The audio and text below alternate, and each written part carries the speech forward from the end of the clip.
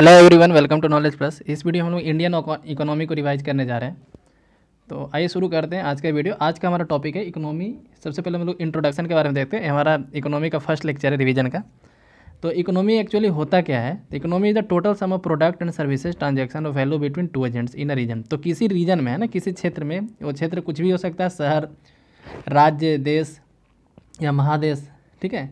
तो किसी क्षेत्र में दो आदमी के बीच में, दो एजेंट के बीच में मतलब कि या तो पर्सन हो या दो कंट्री के बीच में, ठीक है, या फिर एक पर्सन एक कंट्री के बीच में, इस तरीके से दो एजेंट के बीच में, जो सर्विस का या प्रोडक्ट का, ठीक है, यानी कोई सामान का या फिर कोई सर्विस का, कोई सेवा का ट्रांजैक्शन होता है तो उसको हम लोग उसके सम को जो है, उसका टोटल सम जो होता है, उसको हम लोग इकोनॉमी बोलते हैं। And economy consist of economic system, economy में एक इकोनॉमिक सिस्टम होता है, कंप्राइजिंग द प्रोडक्शन, डिस्ट्रीब्यूशन और trade and consumption of limited good. तो उसमें इकोनॉमिक सिस्टम में क्या क्या आता है तो कंप्राइजिंग द प्रोडक्शन, सबसे पहले प्रोडक्शन होता है उसके बाद होता है डिस्ट्रीब्यूशन या फिर ट्रेड है ना? ट्रेड यानी कि व्यापार एंड कंजम्पशन और खर्च होता है, ठीक है? किसी भी सामान का या सर्विस का दो एजेंट के बीच में। इकोनॉमी मेनली तीन तरह का होता है, एक होता है कैपिटलिस्ट इकोनॉमी सोशलिस्ट इकोनॉमी और मिक्स्ड इकोनॉमी ठीक है? कैपिटलिस्ट इकोनॉमी किसको बोलते हैं? जो कैपिटलिस्ट कैरेक्टरिस्टिक्स का होता है, यानी कि जिसमें जो पूंजीवादी नेचर का होता है, जहाँ पे हर चीज़ प्राइवेट होता है, जहाँ पे हर चीज़ प्राइवेट होता है, उसको हम लोग कैपिटलिस्ट इकोनॉमी बोलते हैं। जैसे अमेरिका को कैपिटलिस्ट इकोनॉमी का एग्ज़ाम्पल दिया जाता है। अमेरिका में आपको काफ़ी कम चीज़ सरकारी देखने को मिलेगा। जैसे इंडिया में होता है ना कि रेल सरकारी है कोई कोई कंपनी भी सरकारी, यहाँ पे सरकारी कंपनी भी होता है, लेकिन अमेरिका में आपको सरकारी बहुत कम चीज़ देखने को मिलेगा, है ना? गवर्नमेंट के अलावे रेयरली वहाँ पर कुछ सरकारी होता है।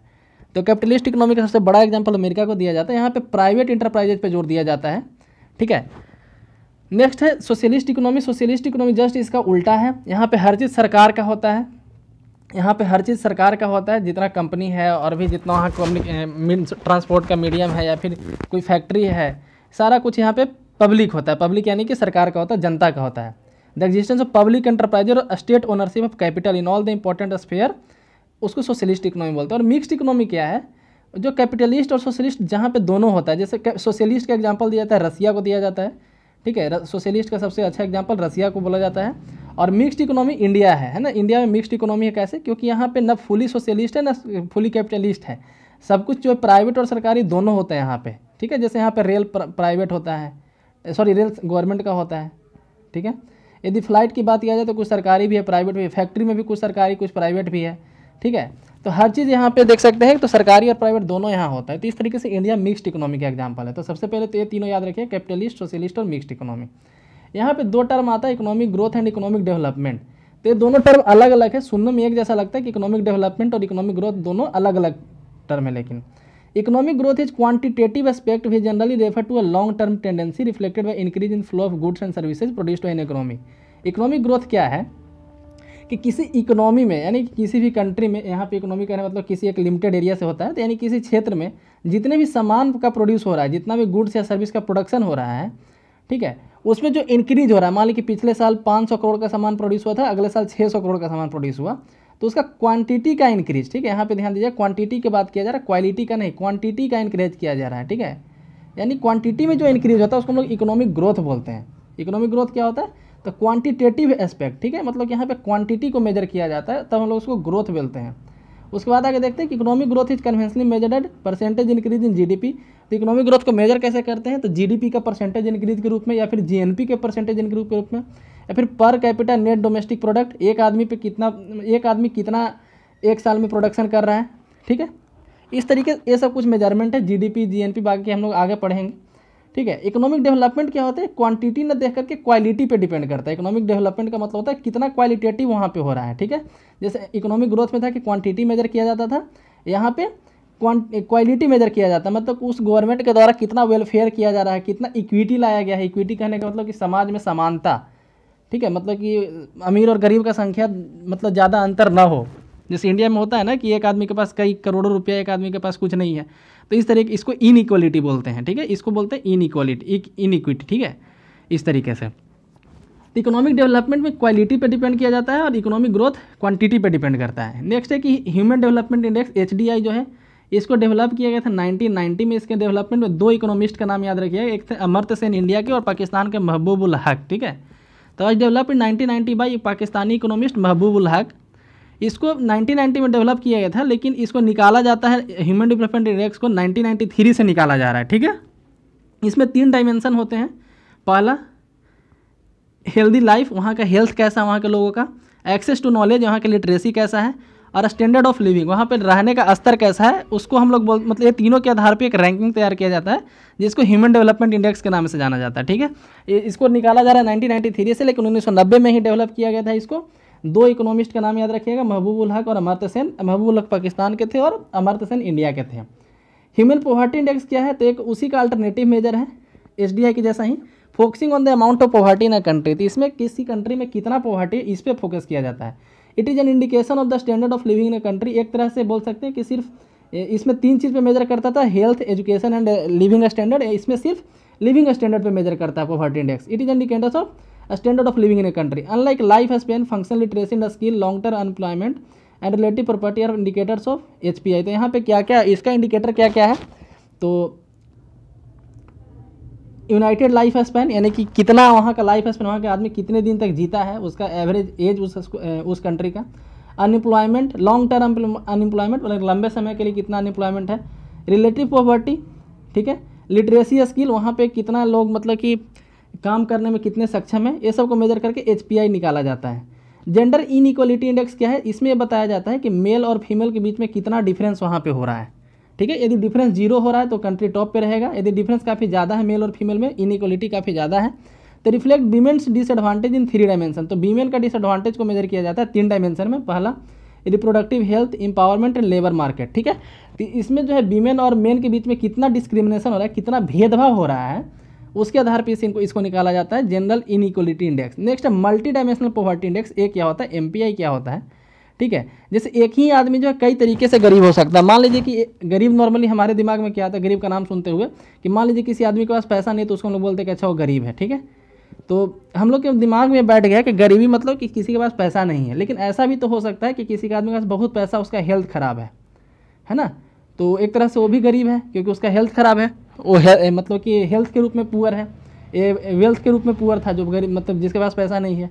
मान लीजिए कि ठीक है उसका हेल्थ भी ठीक है लेकिन वो आदमी दिव्यांग है मतलब उसका पैर नहीं है या फिर ब्लाइंड है उसका आँख खराब है इस तरीके से तो भी एक तरीके का पुअर ही हुआ है ना? तो इसी को बोलते हैं मल्टी डायमेंशनल पॉवर्टी मतलब कि एक एक नहीं कई तरीके से यहाँ पे गरीबी को देखा जाता है ठीक है? क्या क्या देखा जाता है इसमें?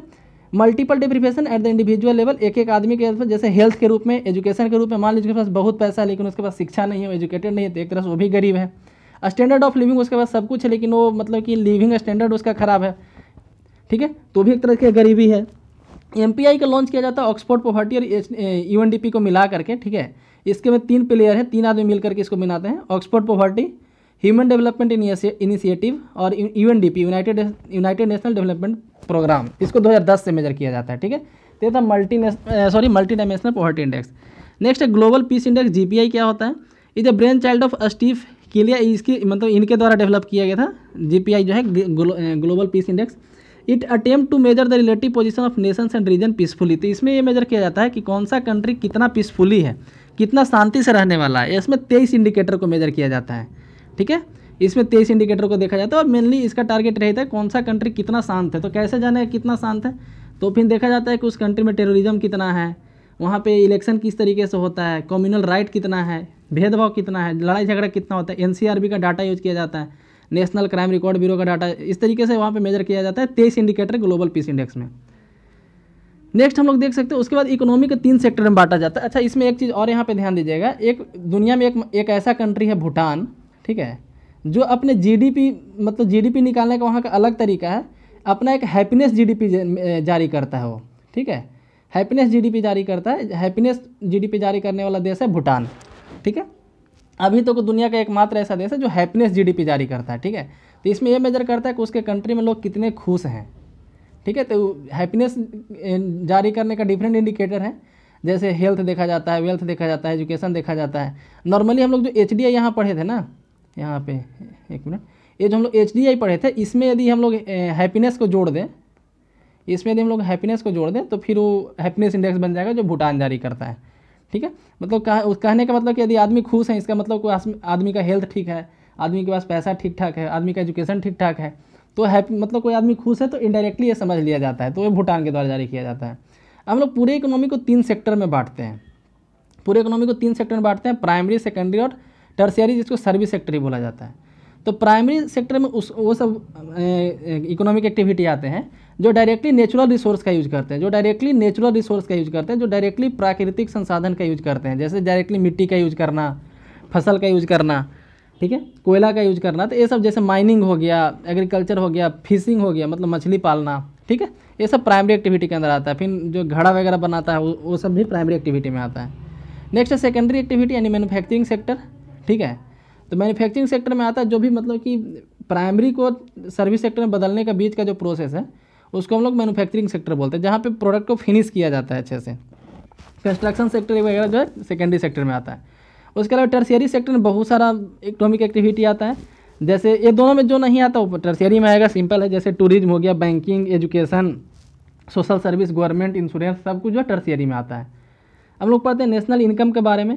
किसी कंट्री का कितना इनकम है, इसके बारे में लोग पढ़ते हैं। National income measures the net value of goods and services produced in a country during a year and it also include net factor income from abroad तो नेशनल इनकम में क्या क्या जारी किया मेजर किया जाता है? तो इसमें एक कंट्री में कितना गुड्स या सर्विस प्रोड्यूस हुआ है? किसी कंट्री में एक साल में कितना गुड्स या सर्विस प्रोड्यूस हुआ है? और क्या जोड़ा जाता है? तो विदेश से कितना उस मतलब उस कंट्री के लोग जो विदेश में रहते हैं, वो कितना अर्न करते हैं? ये सब नेशनल इनकम में ऐड किया जाता है। इसको कई तरीके से ऐड किया जाता है।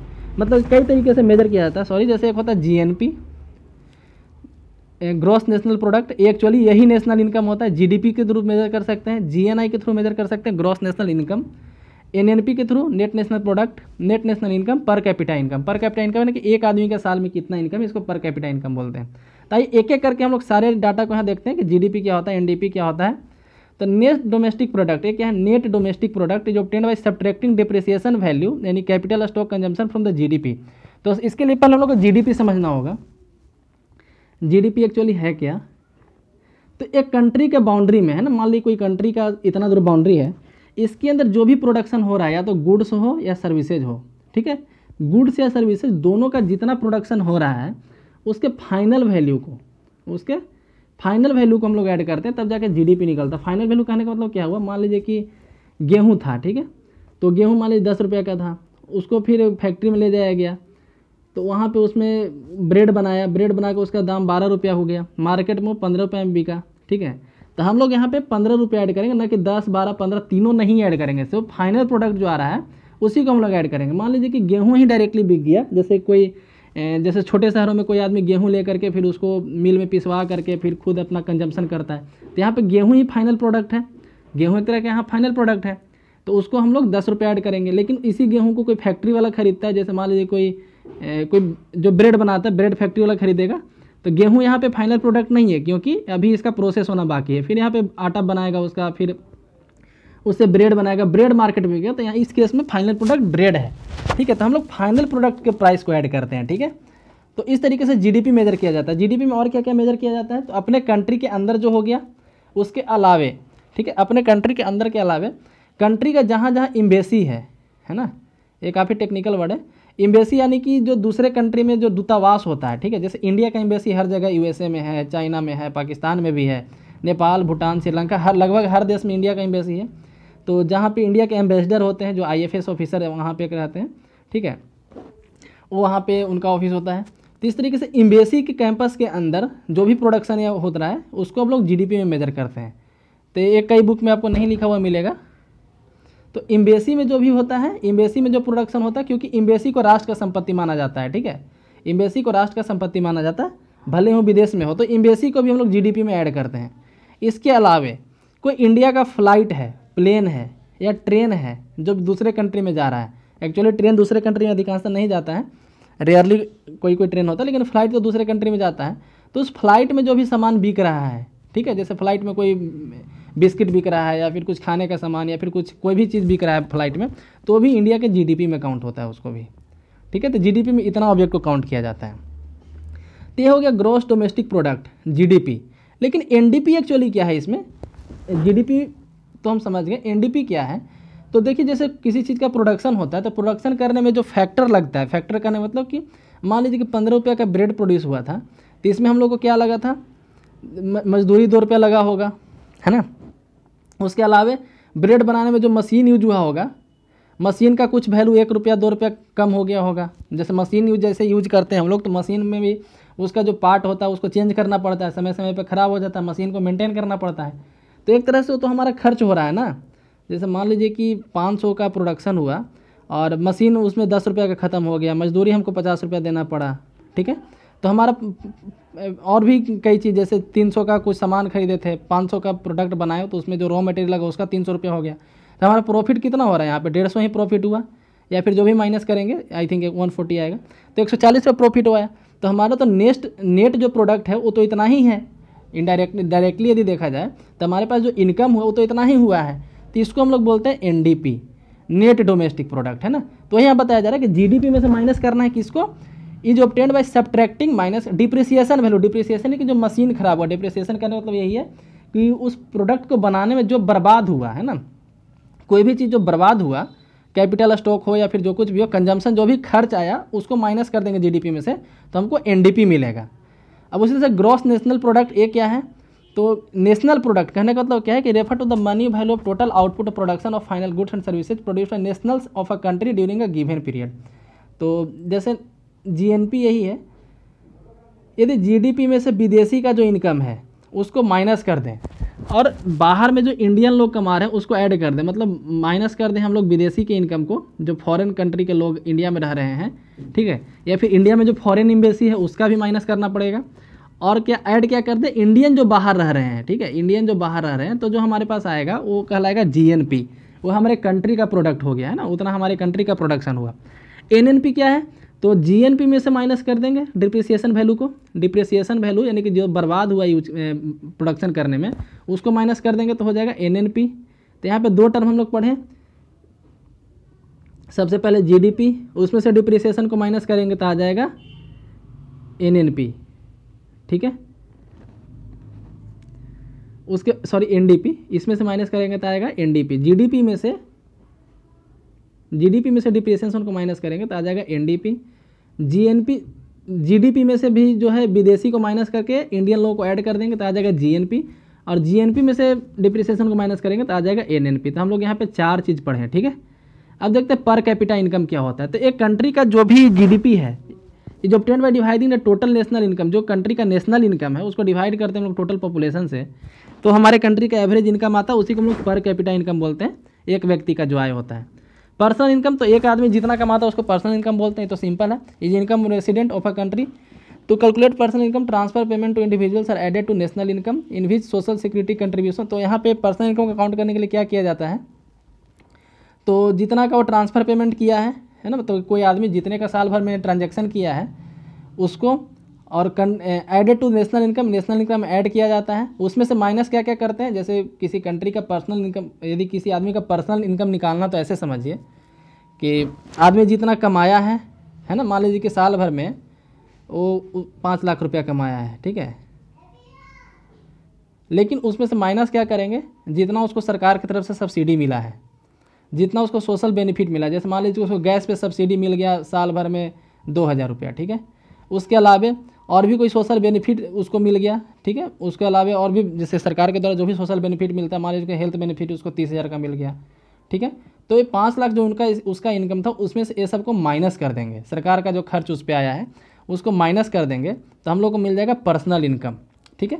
उसमें फिर और क्या करेंगे? टैक्स को ऐड कर देंगे। ठीक है? क्योंकि टैक्स तो दिया था ना तो उसका इनकम में था। तो ये सब जो है कैलकुलेशन करके पर्सनल इनकम निकाला जाता है। ठीक है? क्योंकि जैसे पाँच लाख तो उसका इनडायरेक्ट हमको दिख रहा है कि पाँच लाख उसका इनकम है, लेकिन उसको और क्या मिला? सरकार की तरफ़ से मान लीजिए उसको साल भर में कुल मिला के पचास हज़ार रुपया मिल गया हर तरीके से सब्सिडी करके या फिर सोशल बेनिफिट के माध्यम से। तो उसका इनकम तो ओरिजिनली चार लाख पचास हज़ार ही हो गया ना, क्योंकि पचास हज़ार तो उसको जो है सरकार की तरफ़ से मिल गया था। ठीक है? तो इस तरीके से निकाला जाता है पर्सनल इनकम को। नेक्स्ट है इनकम में अब जो है जीडीपी काउंट करने का डिफरेंट मेथड है। जीडीपी को काउंट करने के लिए डिफरेंट मेथड एक होता है इनकम मेथड फिर प्रोडक्ट मेथड ठीक है? यहाँ पे देखते हैं income method measures national income from side of payments made to the factor of production file expenditure method the final expenditure और जीडीपी तो इनकम मेथड में क्या किया जाता है?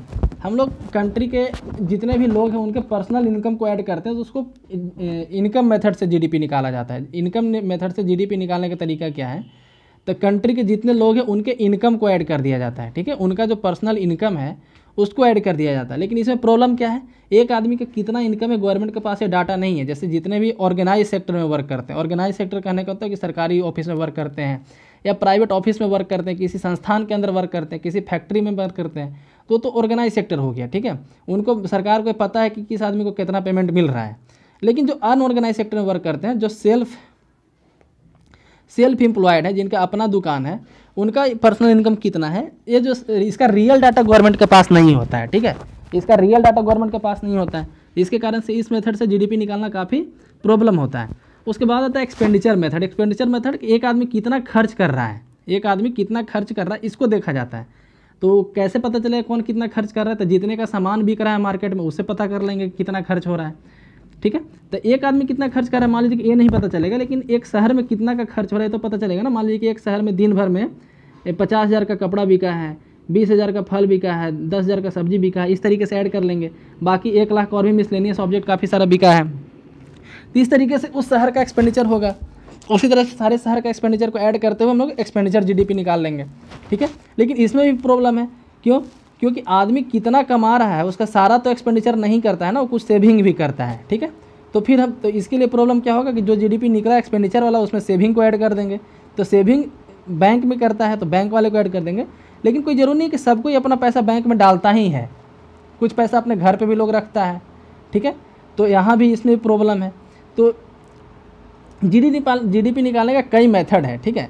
तो इन इंडिया में क्या किया जाता है? Combination of product method and income method तो दोनों मेथड को यूज़ किया जाता है यहाँ पे, ठीक है? एक्सपेंडिचर और इनकम मेथड दोनों को यूज़ किया जाता है और जीडीपी को इस्टीमेट किया जाता है, अनुमान लगाया जाता है। Generally reliable data on saving and consumption are not easily available है ना? Therefore expenditure method is generally not use तो एक्सपेंडिचर मेथड जो है, काफ़ी ज़्यादा डिफ़िकल्ट है। इनकम मेथड को अधिकांशतः कंट्री के द्वारा यूज़ किया जाता है, नहीं तो दोनों का कम्बिनेशन यूज़ किया जाता है। इंडिया में दोनों का कम्बिनेशन यूज़ किया जाता है। ठीक है? दादा भाई नेरोजी के द्वारा प्रिपेयर किया गया था पहली बार नेशनल इनकम को अठारह सौ में, ठीक है? लेकिन ये अनऑफिशियल था, इसलिए इसको नहीं माना जाता। इसमें बोला गया था कि एक आदमी का इनकम बीस रुपया है। साल भर में एक आदमी का इनकम बीस रुपया था। इंडिपेंडेंस के बाद, आज़ादी के बाद the task of estimation of national income in has interested to C S O एक सी एस ओ का गठन किया गया था, ठीक है? सेंट्रल स्टेटिस्टिकल ऑर्गेनाइजेशन इसमें जो इसको बोला गया कि नेशनल इनकम निकालने का काम इसको दिया गया, ठीक है? अभी जो है इंडिया का जीडीपी का बेस ईयर 2011-12 है। मतलब कि अभी जो जीडीपी निकाला जाता है, उसको 2011-12 के प्राइस पे निकाला जाता है। जीडीपी देखिए दो तरह का होता है, एक होता है रियल जीडीपी, एक होता है रियल जीडीपी, एक होता है nominal GDP. Nominal GDP. Actually ये क्या होता है तो जीडीपी निकालने के लिए हमेशा एक बेस ईयर लिया जाता है। जैसे अभी जो बेस ईयर है 2011-12 है। ठीक है? अब मान लीजिए, इमेजिन कीजिए कि किसी कंट्री में प्रोडक्शन हुआ पचास के जी वीट, गेहूँ, बीस के जी चावल, है ना? तीस के जी पल्सेज। मान लीजिए कितना ही प्रोडक्शन हुआ ऐसे प्रोडक्शन तो और भी कई चीज़ होता है। एग्ज़ाम्पल के तौर पे मान लीजिए। तो इसका प्राइस 2011-12 में कितना था? ठीक है? बेस ईयर पे प्राइस इसका कितना था? ये 2011-12 में प्राइस कितना था? तो मान लीजिए कि इसका दस रुपये के जी बीस रुपये के जी था वीट का, अठारह रुपये के जी था चावल का, और मान लीजिए बारह रुपये के जी इसका था, ठीक है? दाल का। तो जो हम लोग प्राइस निकालेंगे दो हज़ार में उसको ऐड करने पे जो आएगा, वो कहलाएगा रियल जीडीपी मतलब बेस ईयर पे जो निकाला जाता है, उसको रियल जीडीपी बोलते हैं। ठीक है? अभी जैसे अभी क्या होगा? मान लीजिए उतना ही चीज़ का, मान लीजिए पचास के जी गेहूँ था, बीस के जी चावल था और बारह के जी दाल था। अभी प्राइस बढ़ गया होगा, है ना? तो अभी तो बढ़ा हुआ प्राइस पे निकाला जाएगा। तो अभी के प्राइस पे जो कैलकुलेट करेंगे, उसको बोलेंगे नॉमिनल जीडीपी तो रियल जीडीपी क्या होता है? जो बेस ईयर के प्राइस पे ऐड किया जाता है। नॉमिनल जीडीपी क्या होता है? जो करेंट ईयर पे प्राइस पे ऐड किया जाता है। ठीक है? करेंट ईयर के प्राइस पे ऐड किया जाता है। तो इसको बोलते हैं रियल जीडीपी इसको बोलते हैं नॉमिनल जीडीपी ठीक है? तो अभी प्रोडक्शन जो होगा, उसको आज के डेट के वैल्यू पे निकालेंगे, आज के प्राइस पे निकालेंगे यदि उसका वैल्यू तो उसको बोलेंगे नॉमिनल जीडीपी और दो हज़ार अभी जो बेस ईयर है, दो हज़ार पहले बेस ईयर दो हज़ार था। और इस बेर बेस ईयर को रिवाइज किया जाता है सरकार के द्वारा। ऐसा कोई रूल नहीं है कि हर आठ साल पर रिवाइज होता है या दस साल पर रिवाइज होता है। लेकिन एक ट्रेडिशन बन गया कि जब सात आठ साल हो जाता है तो गवर्नमेंट रिवाइज कर देती है उसको। तो पहले दो हज़ार चार पाँच बेस ईयर था, अब दो हज़ार ग्यारह बारह बेस ईयर है, ठीक है?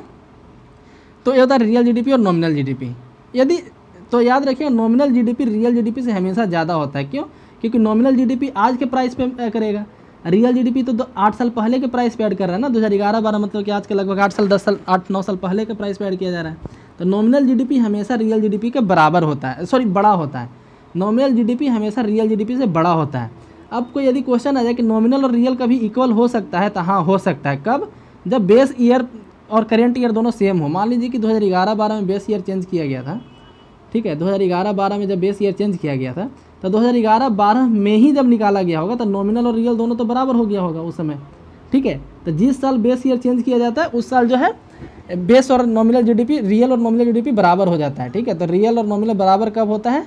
जिस साल बेस ईयर चेंज किया जाता है, ठीक है? और नॉर्मली क्या होता है तो नॉमिनल रियल से बड़ा होता है रियल जीडीपी में यदि हम लोग महँगाई को जोड़ दें इन्फ्लेशन को जोड़ दें, ठीक है, क्योंकि रियल जीडीपी तो दो हज़ार ग्यारह के प्राइस पे निकला है, इसमें यदि हम लोग महँगाई को जोड़ दें तो नॉमिनल जीडीपी आ जाएगा, आज का जीडीपी आ जाएगा, ठीक है नॉमिनल जीडीपी आ जाएगा, ठीक है तो ये था इसके बारे में। नेक्स्ट हम लोग देखते हैं ministry of statics and programme implementation एक संस्था है MoSPI ministry of statics and programme implementation उसको बनाया गया था इंडिपेंडेंट मिनिस्ट्री पंद्रह अक्टूबर निन्यानवे में। दो दो डिपार्टमेंट को मर्ज करके department of statics and department of programme implementation ठीक है? दो डिपार्टमेंट था डिपार्टमेंट ऑफ़ स्टैटिक्स और डिपार्टमेंट ऑफ़ प्रोग्राम इम्प्लीमेंटेशन दोनों को मर्ज करके बनाया गया था इसको मॉस्पी को। इसका दो विंग है, पहला क्या है? एक तो स्टैटिक्स से रिलेटेड नाम से पता चलता है मिनिस्ट्री ऑफ़ स्टैटिक्स एक है मिनिस्ट्री ऑफ़ प्रोग्राम इम्प्लीमेंटेशन तो किसी प्रोग्राम को लागू करवाने का जिम्मा इसके ऊपर होता है, जो गवर्नमेंट का प्रोग्राम होता है और एक है मिनिस्ट्री ऑफ़ स्टैटिक्स जो समझ सकते हैं, इसका डाटा कलेक्ट करने का काम है। स्टैटिक विंग्स में दो संस्था, एक है सीएसओ एक है एन एस यानी नेशनल सैंपल सर्वे ऑर्गेनाइजेशन एक है सेंट्रल स्टैटिस्टिकल ऑर्गेनाइजेशन सीएसओ को इंट्रोड्यूस किया C S O introduce the new series of national account with base year ग्यारह बारह, है ना? तो जैसा कि हम पहले बताएँ कि 2004-5 पहले बेस था, उसको फिर 2011-12 में बेस बनाया गया, ठीक है? तो इस तरीके से आज का ये हमारा लेक्चर समाप्त होता है। हम लोग यहाँ पे इंट्रोडक्शन पढ़े और नेशनल इनकम के बारे में पढ़े। वीडियो आपको कैसा लगा कमेंट सेक्शन में ज़रूर बताएँ। चैनल को सब्सक्राइब करें वीडियो को लाइक करें। धन्यवाद।